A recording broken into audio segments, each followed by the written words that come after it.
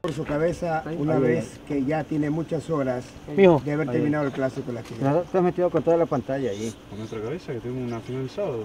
Sí, ya está, el partido este pasado. Desgraciadamente Ah, lo pudimos ah, sumar a ah. tres.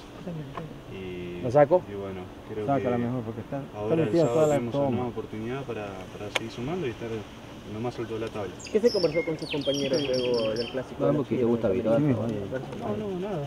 No, que obviamente quedó un sabor amargo, ¿no? Por el tema de, de que estábamos en casa y, y necesitamos ganar. Pero bueno, eh, creo que, que fue importante que no se perdió, que to- todavía seguimos la racha esa de, de no perder y, y esperamos seguir así.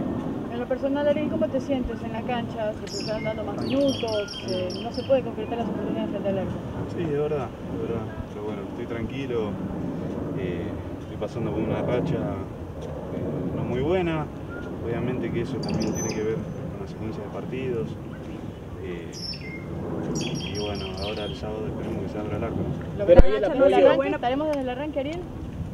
No lo sabe. Pero ahí el apoyo, el respaldo de los hinchas hacia usted, Ariel, ¿no? Que es importante. Sí, sí, obviamente que sí. Siempre es importante. Obviamente que la gente por ahí se, se impacienta un poco por el tema de, de los goles y, y por ahí a veces que no salen ¿no? En, en algo colectivo, pero bueno,